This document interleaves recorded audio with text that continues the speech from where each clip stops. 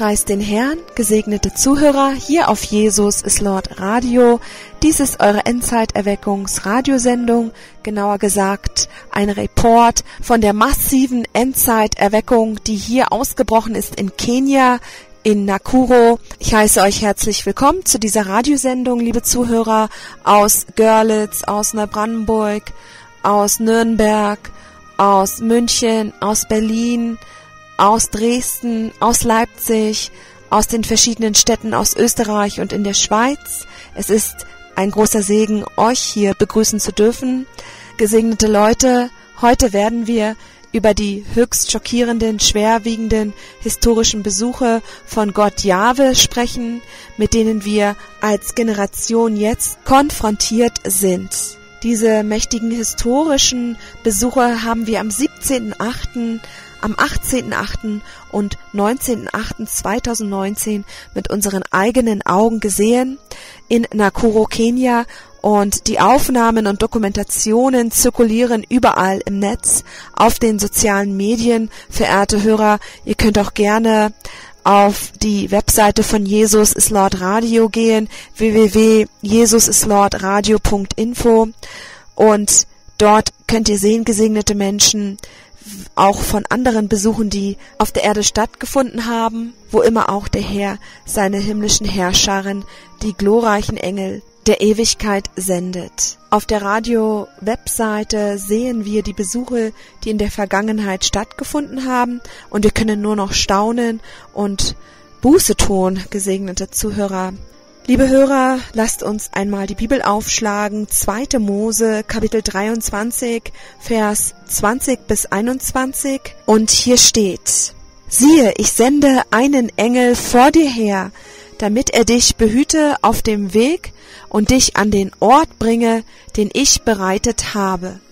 Hüte dich vor ihm und gehorche seiner Stimme und sei nicht widerspenstig gegen ihn denn er wird eure Übertretungen nicht ertragen, denn mein Name ist in ihm.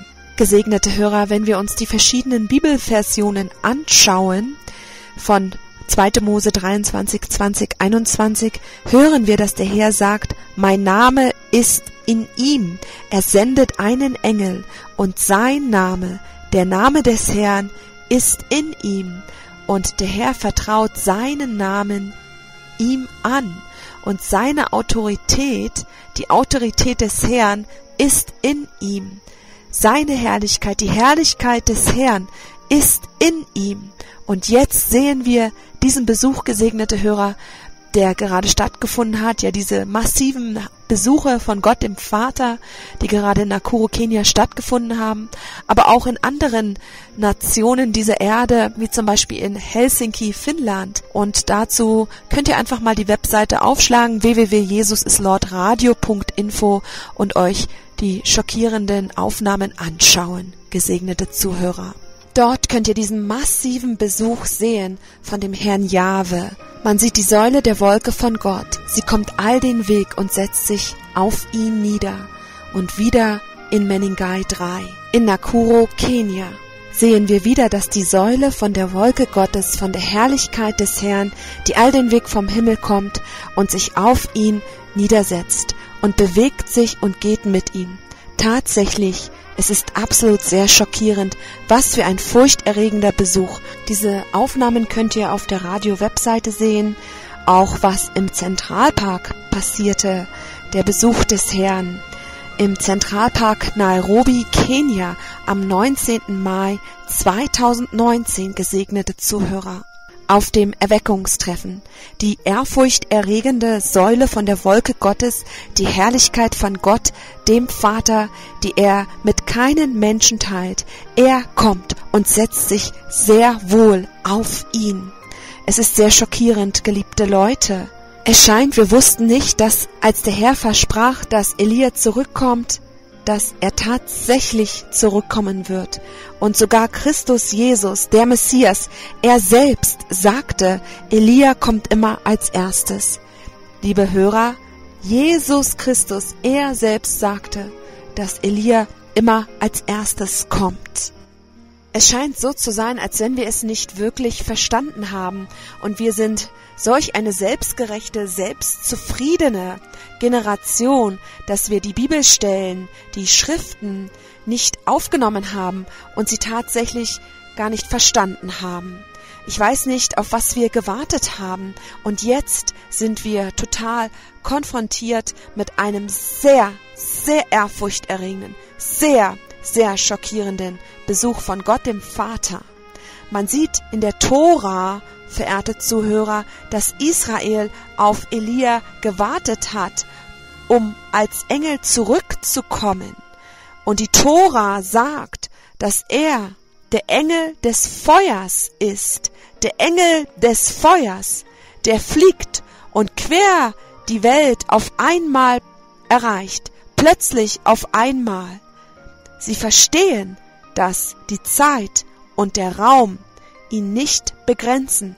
Er ist der Engel von Gott, von dem Herrn, der Engel des Herrn. Es ist wahrlich absolut sehr schockierend und sehr enorm, was unsere Ohren hören und unsere Augen sehen können jetzt, geliebte Leute. Aber wir sehen nach der ersten Reise seines Dienstes Elia, der größte Prophet von Jahwe, der größte Prophet der Bibel, als er in Tishbe erschien, da konnte keiner so richtig sagen, wo er herkommt.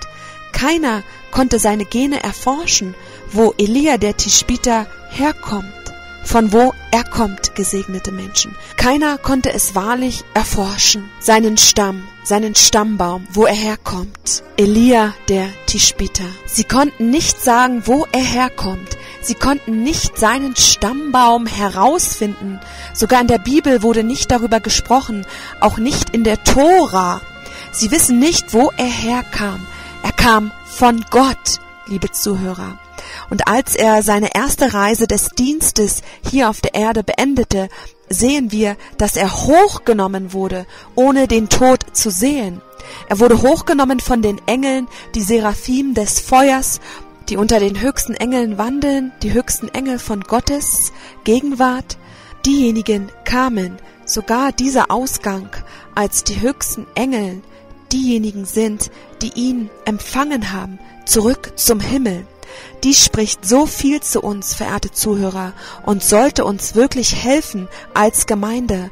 Aber ich weiß nicht, worauf wir gewartet haben. Ich kenne nicht die Stufe, ich kenne nicht das Niveau unserer Selbstzufriedenheit, unserer Selbstgefälligkeit, die sich so sehr in die Gemeinde hineingefressen hat.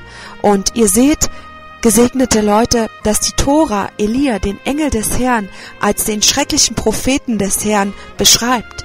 Sie beschrieben ihn als einen auf der Durchreise, als einen Fremdling.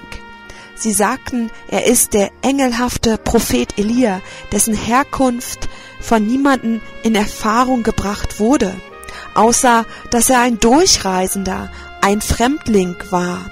Und als er seine heftige Mission auf der Erde beendete, als er zum ersten Mal hier war, erschienen die Engel der Herrscherin des Himmels im Feuerwagen und die Reiter Gottes, und sie nahmen ihn weg zurück in den Himmel, hinauf in den Himmel, hinein in den Thronsaal Gottes, wo er hingehört, wo er residiert für immer. Und wir haben gesehen, seitdem er in die Szene kam, kam er mit massiver Kraft und Autorität. Wir haben gesehen, seitdem er in die Szene kam, hat er den Himmel verordnet, sich zu öffnen, und massive Besuche haben stattgefunden. Er verordnete den Himmel, sich zu öffnen, in der Stadt, in Kenia, in Kakamega, und der Himmel öffnete sich zu seinem Befehl. Wie kommt es, dass dies uns nicht aufgeweckt hat? Denn kein Mann kann jemals vor Gott stehen und den Himmel verordnen, sich zu öffnen. Kein Mensch kann Gott den Vater verordnen, dass er den Himmel öffnet, dort wo sein Thron ist, und der Himmel ist wirklich gehorsam und öffnet sich, und Gott gehorcht wirklich. Wie schockierend und wie furchterregend, dass Gott seinen Verordnungen Gehorsam schenkt und tatsächlich sofort den Himmel öffnet. Liebe Menschen, ihr könnt auf den YouTube-Kanal Jesus kommt Deutschland gehen und dort gibt es viele Dokumentationen, wo ihr selber sehen könnt, wie Gott, der Vater, einfach den Himmel öffnete zu der Verordnung von dem ehrfurchterregenden Engel, der Prophet Elia. Sogar können wir sehen, wie Gott der Vater den Himmel öffnete in Kakamega, in Kisi, in Kenia, in Lima, Peru, in Lagos, Nigeria. Viele Male haben wir dies gesehen. Der furchterregende Prophet Elia tretet voran, hebt seine linke prophetische Hand vor der Menschenmenge, vor den versammelten Menschen, vor jedem und schaut nach oben zum Himmel und spricht laut zu Gott, dem Vater, und man hört die Worte und sie sind ein Befehl. Und der Himmel öffnet sich und der Himmel gehorcht seinen Worten. Er sagte, mächtiger Vater, du wirst heute hier den Himmel öffnen. Und tatsächlich gehorcht Gott der Vater und öffnet den Himmel. Wir haben diesen enormen Besuch in Lima, Peru gesehen, in Lagos, Nigeria. Die ganze Welt ist immer noch im Schock darüber, was in Lima, Peru passierte, denn hier ist dies die zweitgrößte Wüstenstadt der Welt, Lima, Peru, und wir haben die ehrfurchterregende Herrlichkeit von Gott gesehen, die auf ihn sich niedergesetzt hat, und das ist absolut sehr schockierend, sehr, sehr furchterregend. Verehrte Hörer, auf der Webseite www.jesusislordradio sehen wir, wie er einen Schritt voran am Altar macht, nach vorne, und die Herrlichkeit macht auch einen Schritt mit ihm. Es ist sehr schockierend. Wenn er sich beugt, beugt sich auch die Herrlichkeit mit ihm. Das können wir sehen und das ist sehr, sehr furchteinflößend. Man sieht die Herrlichkeit, setzt sich auf die Krone seines Kopfes nieder und bewegt sich und geht mit ihm am helllichten Tage vor laufender Kamera. Dies sind sehr große Dinge.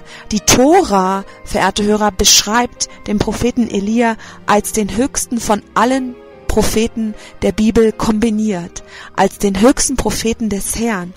Israel hat größeres Verständnis als wir, die Gemeinde.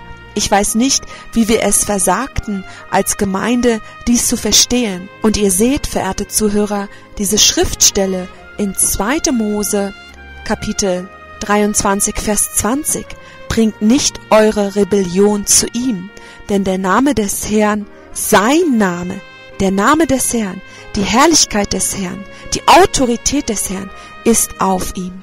Dies sind sehr schockierende Dinge.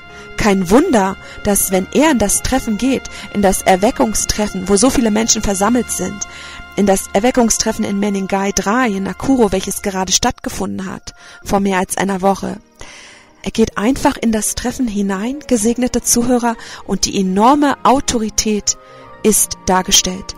Er hat die Autorität über den Tod. Er kann den Toten, der zerwesende Körper, der Körper, der verwest, er kann zu dem toten Körper sagen, dass er wieder zurück zum Leben kommt und das Leben kommt zurück zu ihm. Das Leben. Und wir wissen, dass nur der Herr Gott Vorrecht über Leben hat. Nur der Herr Gott hat das Vorrecht über das Leben. Aber wir sehen, dass der Prophet Elia, der furchterregende Prophet Elia, so eine Stufe der Göttlichkeit hat. Wie schockierend. Wir haben die himmlischen Herrscherin des höchsten Niveaus angetroffen. Sie sind sehr hochgestellt. Sie sind höchsten Niveaus in dem Königreich Gottes, geliebte Zuhörer. Sie haben Autorität über Krankheiten. Man realisiert, als sie kamen, in das Erweckungstreffen in Nakuro, welches am 17. und am 18.08.2019 stattgefunden hat, haben sie solch große Autorität wieder gezeigt. Man realisiert, als sie kamen und dieses zweiminütige Gebet gesprochen haben, welches letztendlich eine Verordnung war, sie sprachen zu den Krankheiten, sie sprachen zu den schlimmen Zuständen und verordneten, dass die Krankheiten gehen. Dies ist die Autorität, von der die Bibel spricht, sein Name, seine Autorität, seine Herrlichkeit ist in ihm. Wie wir lesen in 2. Mose Kapitel 23 von Vers 20. Sehr schockierend, gesegnete Zuhörer, was uns gerade hier in der Gemeinde passiert. Die Gemeinde ist mit einem absolut schockierenden Wunder konfrontiert. Dies ruft auf zur Veränderung, dies ruft auf zu Demut und zur wahren tiefen Buße so dass wir nicht unseren Besuch verpassen, sondern uns auch vorbereiten für das glorreiche Kommen des Messias. Liebe Hörer, ihr seid nun eingeladen zur Lobpreisrunde. Lasst uns den Herrn loben und ehren und würdigen.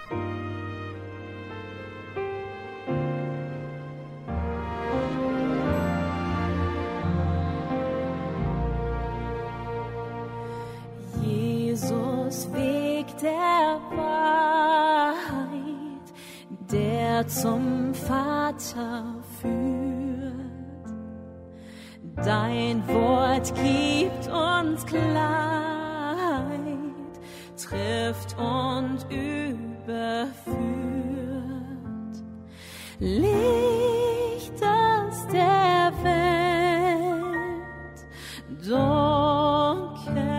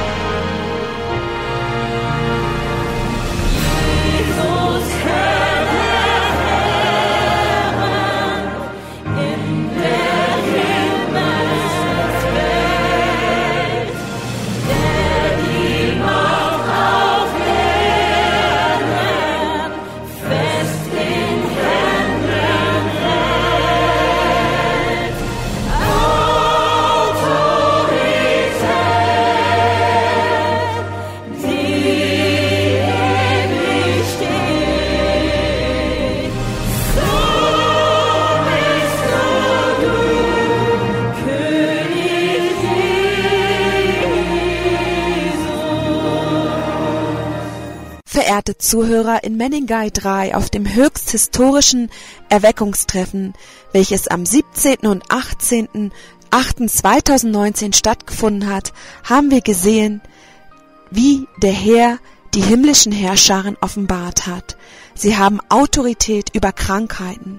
Wir haben gesehen, wie Krüppel einfach aufgestanden sind vom Boden. Die himmlischen Herrscharen haben Autorität über Taubheit, über Blindheit. Sie haben Blindheit verordnet zu gehen. Sie haben Taubheit verordnet zu gehen. Sie haben Krebs verordnet zu gehen.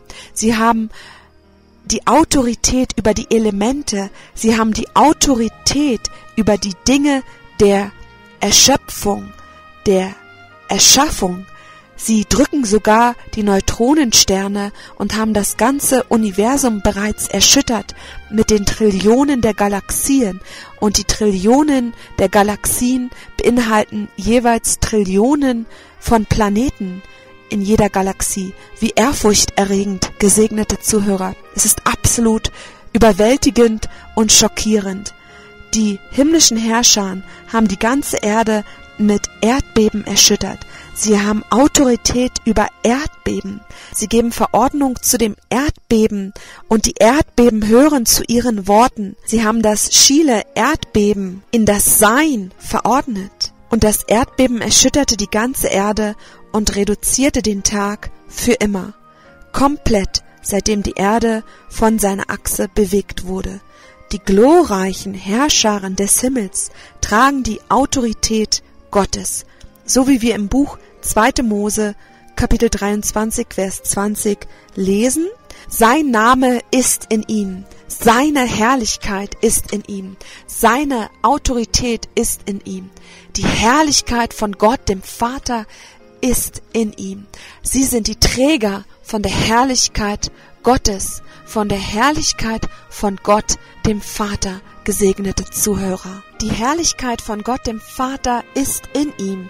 Wir wussten nicht, als diese Schriftstelle geschrieben wurde, dies dazu diente, uns die Gemeinde vorzubereiten, dass der Herr seinen Engel senden wird, um zu uns zu kommen. Was ist zu der Gemeinde passiert? Vielleicht dachten wir, die Gemeinde vielleicht dachte, dass die Dinge über die Engel Dinge der Vergangenheit sind. Dinge, die in der Vergangenheit passiert sind. Aber jetzt haben wir die Engel des Herrn angetroffen und sie sind gekommen und verkünden das glorreiche Kommen von Jesus, den Messias. Es ist sehr schockierend, denn wir haben manchmal gesehen in Meningay 3 auf der neunten internationalen Konferenz der Pastoren und Evangelisten sehen wir, dass die ehrfurchterregenden Engel Gottes über die Menschenmenge wandeln, über unsere Köpfe sich bewegen und wir können es nicht einmal bemerken. Sie können sehbar kommen und auch unsehbar erscheinen. Auf unsehbarer Weise können sie kommen, gemäß ihrer Zweckmäßigkeit. Kommen sie und erscheinen und verschwinden wieder, so wie es in der Bibel zu sehen ist, gesegnete Zuhörer. Sie erscheinen und verschwinden, als sie kamen, um über das Kommen von Christus bekannt zu geben, die Geburt von Christus, der Erretter der Welt, sie erschienen und sind wieder verschwunden. Die Engel von Jahwe, die Engel Gottes, die furchterregenden Engel Gottes. Liebe Hörer, und im Zentralpark in Nairobi, Kenia am 19. Mai 2019 haben wir sie sehen können zu sechst. Sie sprachen zu sechst. Diese Aufnahme ist auch zu sehen, gesegnete Hörer, auf den sozialen Medien. Liebe Hörer, wir sind wahrlich in einer sehr historischen, sehr, sehr mächtigen Zeit und dies bedeutet für uns in Deutschland, in Österreich und in der Schweiz und ja für alle Nationen auf dieser Erde, den Herrn in Wahrheit und im Geiste anzubeten. Liebe Hörer, ich lade euch nun zur nächsten Lobpreisrunde ein.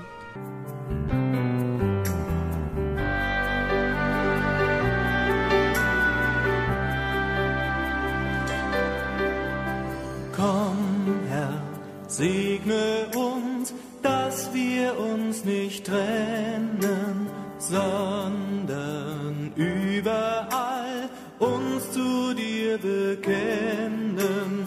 Nie sind wir allein, stets sind wir die Deinen,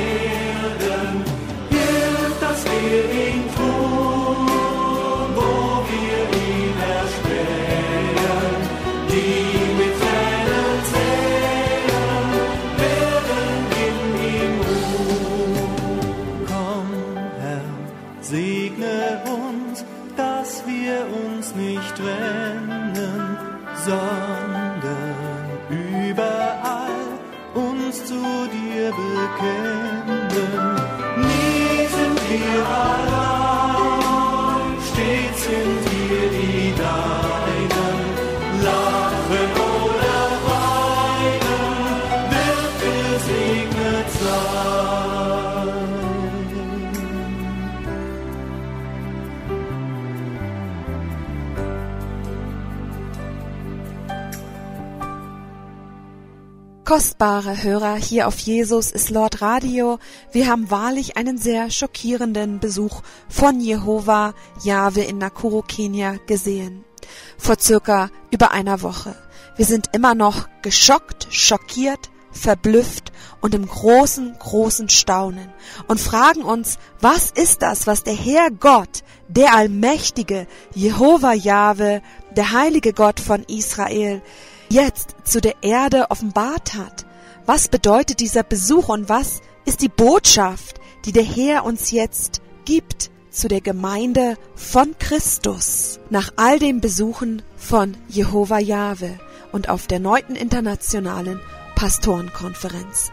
Liebe Hörer, wir sehen, es ist sehr schockierend, wie Gott der Vater die himmlischen Herrscharen in einer sehr mächtigen, erstaunlichen ehrfurchterregenden und schockierenden Weise offenbart hat zu den Nationen der Erde. Dies erklärt uns, dies zeigt uns, dass die himmlischen Herrscharen tatsächlich von Gott, dem Vater Jehova Jahwe sind. Sie sind die himmlischen Herrscher, sie sind die Herrscher der Ewigkeit, die hier gerade auf der Erde wandeln, verehrte Hörer. Wie sind wir hierher gekommen? Dass wir jetzt in Interaktion sind mit den himmlischen, höchst glorreichen Herrscharen der Ewigkeit. Aber dies passierte schon seit einiger Zeit, liebe Hörer. Nur, dass wir zu selbstgefällig waren, zu stumpf, zu schwerfällig, zu nicht interessiert, ja einfach zu schwerfällig waren zu verstehen, zu schwerfällig als Menschen waren, dies zu verstehen und im Einklang mit dem himmlischen Kalender von Gott Jahwe zu sein. Liebe Hörer, seit 2004 sind die Engel Gottes hier auf dieser Erde und wahrlich ist es absolut wichtig für uns, jetzt alles zu bereinigen, alles zu säubern, alles, was nicht richtig ist, zu korrigieren, dass wir im richtig stehen, im aufrecht stehen, ja richtig wandeln mit dem Herrn, dass wir in Rechtschaffenheit leben, und ein Lebensstil der Buße umarmen. Diese Offenbarungen, die wir heute erfahren haben, liebe Hörer, sollten uns wirklich zu einer ernsthaften christlichen Lebensgesinnung motivieren. Jetzt ist die Zeit, wirklich die Dinge ernst zu nehmen, jede Lüge abzulegen, jede Verwirrung, jede Verdrehung der Wahrheit absolut zu meiden dafür Buße zu tun und wirklich im Geist zu wandeln, denn die himmlischen Herrscharen, sie wandeln unter uns und sie bereiten uns vor für das glorreiche Kommen des Messias. Verehrte Zuhörer, nach diesem nächsten Anbetungslied habt ihr die Möglichkeit, Jesus neu zu empfangen, Buße und Gebet vor dem Herrn zu bringen. Bitte bereitet weiterhin euer Herz vor.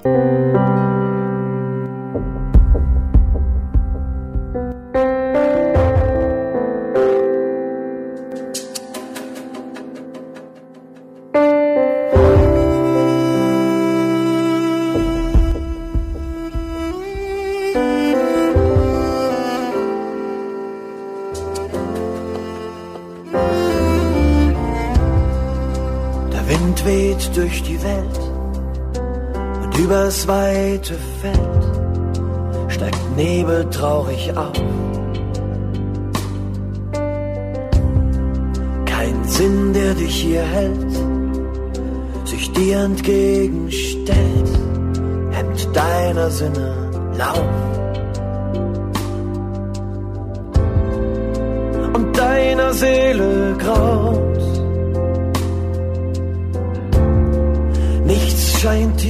Himmelblau. Kein Sonnenstrahl belebt. Und niemand fragt, wie geht's? Nie allein.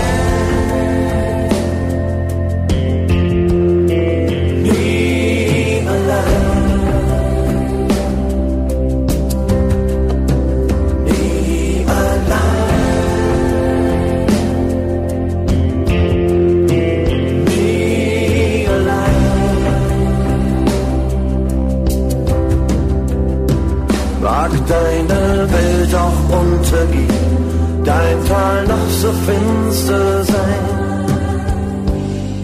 Du bist nie allein.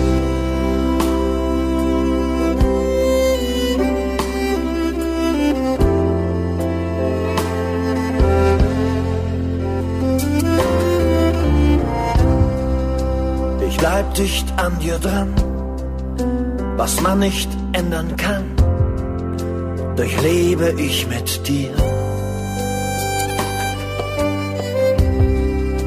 In deinem Jammertal, da bleibt mir keine Wahl, du weißt, dass ich dich fühle. Ich halte dein Herz frisch und teil mit dir den Tisch. Ich schenk dir voll ein, werd immer bei dir sein.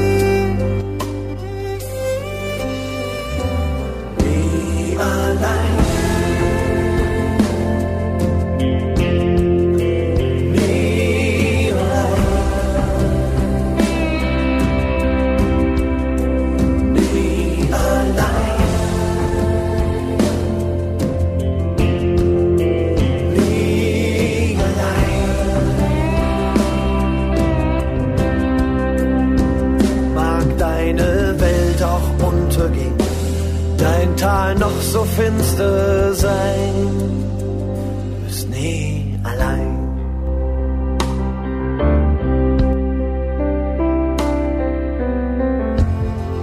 Der Herr ist mein Hirte. Mir wird nichts mangeln. Er weidet mich auf einer grünen Aue und führt mich zum frischen Wasser. Er erquickt meine Seele. Er führt mich auf rechter Straße, um seines Namens willen. Und ob ich schon wanderte im finstersten Tal, fürchte ich kein Unglück, denn du bist bei mir. Dein Stecken und Stab trösten mich. Du bereitest vor mir einen Tisch im Angesicht meiner Feinde. Du salbst mein Haupt mit Öl und schenkst mir voll ein. Gutes und Barmherzigkeit werden mir folgen mein Leben lang und ich werde bleiben im Hause des Herrn. Immer da.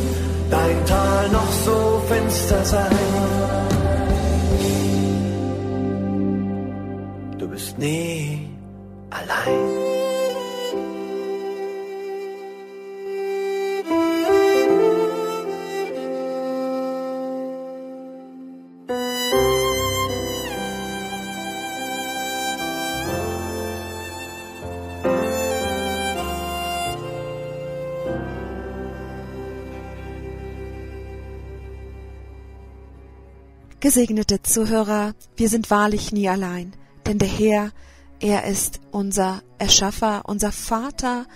Lass uns ihn immer suchen in jeder Lebenslage.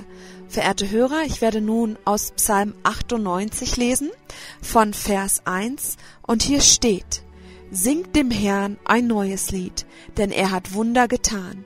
Seine Rechte hat ihm den Sieg verschafft und sein heiliger Arm. Der Herr hat sein Heil kund werden lassen. Er hat vor den Augen der Heiden seine Gerechtigkeit geoffenbart. Er gedachte an seine Gnade und Treue gegenüber dem Haus Israel. Alle Enden der Erde haben gesehen das Heil unseres Gottes. Jauchzt dem Herrn alle Welt brecht in Jubel aus, frohlockt und Lob singt. Lob singt dem Herrn mit der Laute, mit der Laute und mit klangvoller Stimme, mit Trompeten und Hörnerschall. Jauchzt vor dem König, dem Herrn. Es brause das Meer und was es erfüllt, der Erdkreis und sie, die darauf wohnen. Die Ströme sollen in die Hände klatschen, die Berge allesamt sollen jubeln vor dem Herrn, denn er kommt, um die Erde zu richten. Er wird den Erdkreis richten mit Gerechtigkeit und die Völker, wie es recht ist. Liebe Hörer, die Zeit rückt immer näher zur Entrückung. Der Tag der Wahrheit wird bald kommen. Lasst uns jetzt noch die Zeit nutzen, die Zeit der Gnade, die wir noch bekommen haben von dem Herrn. Und lasst uns ein heiliges, rechtschaffendes, reines, ehrliches Leben vor dem Herrn bringen, in Demut und in der Wahrheit, meine lieben Menschen. Ja, wir können jetzt Buße und Gebet vor dem Herrn bringen und Jesus ganz neu empfangen. Wir werden jetzt das Errettungsgebet zusammen beten. Ihr könnt diese Worte nach mir wiederholen. Bitte sagt, Lieber Jesus, ich komme in Buße heute vor dir. Ich beuge mich vor dir. Und ich tue Buße für alle Sünden, die ich heute begangen habe und in meinem ganzen Leben. Ich bitte dich, mir zu vergeben. Ich tue heute Buße für Stolz, für Lügerei, für sexuelle Sünde, für Lauheit, für jede Art von Ungerechtigkeit und Bosheit. Bitte vergib mir. Ich kehre heute ab von jeder Sünde und ich überquere vom Dunklen heute in das Licht. Herr Jesus, ich empfange dich heute als mein Herr und Erretter. Bitte sende mir den Heiligen Geist. Bitte erfülle mich mit dem Heiligen Geist. Und bitte schreibe meinen Namen in das Buch des Lebens. Bitte bereite mich vor jede Stunde, jede Sekunde für das glorreiche Kommen des Messias. Bitte helfe mir, meiner Stadt und mein Land auf dem heiligen Weg zu gehen, auf dem schmalen Weg zu gehen, immer nach Rechtschaffenheit, nach Gerechtigkeit und nach Heiligkeit zu streben. Danke, Herr Jesus, für das Kreuz. Danke, Herr Jesus, für dein Blut. Ich liebe dich. Im mächtigen Namen von Jesus Christus bin ich heute wiedergeboren. Amen. Gesegnete Zuhörer, ich möchte nun noch einmal beten. Himmlischer Vater, im mächtigsten Namen von unserem Herrn Jesus Christus danke ich dir für jeden Zuhörer, der heute diese Sendung gehört hat und sie immer noch hört. Und ich bitte dich, jeden Einzelnen ganz, ganz mächtig zu berühren und zu verändern nach deinem Wohlgefallen, dass wir alle immer deinen Willen tun und wirklich diese Zeit ernst nehmen und auch diese Schwere dieser Zeit realisieren und dass wir vielen Menschen diese mächtige Botschaft von dem Kommen des Messias verkünden. Bitte helfe uns und greife auch ein in Problemsituationen, da wo es keinen menschlichen Ausweg mehr gibt. Bitte greife ein und lass ein großes Wunder geschehen. Im mächtigsten Namen von Jesus Christus. Amen. Liebe Zuhörer, der Herr ist immer noch der Herr. Er ist auf seinem Thron und er regiert. Lasst uns also immer zu ihm kommen, in allen Nöten, in allen Belangen und mögen wir ihm ganz doll vertrauen, dass er uns führt. Liebe Zuhörer, bitte schreibt uns, wenn ihr Fragen habt, wenn ihr Gebetsanliegen habt. Ja, schreibt uns einfach auch mit uns Kontakt aufzunehmen unter der E-Mail-Adresse jesusislord.fmradio@gmail.com und wir werden euch dann kontaktieren. Liebe Hörer, wir haben Gemeinden in Deutschland vom Dienst der Buße und Heiligung. Ihr könnt sie gerne besuchen. Sonntags haben wir den Gottesdienst. Ihr könnt uns besuchen in der Gemeinde in Berlin-Pankow, in Frankfurt am Main, in München, in Karlsruhe und in Winnenden, 25 Kilometer von Stuttgart entfernt. Ihr könnt uns natürlich auch kontaktieren, wenn ihr mehr Informationen braucht.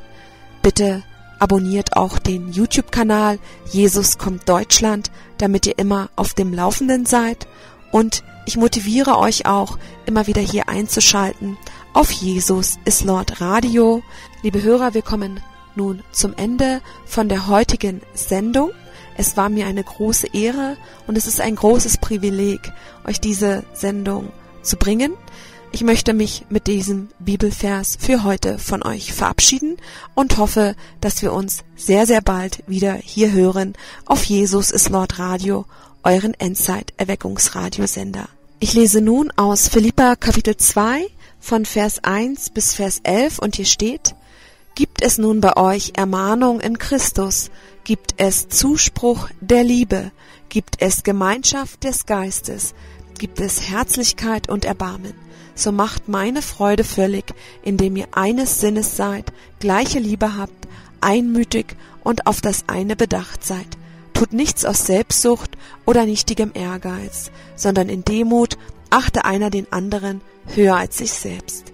Jeder schaue nicht auf das Seine, sondern jeder auf das des anderen.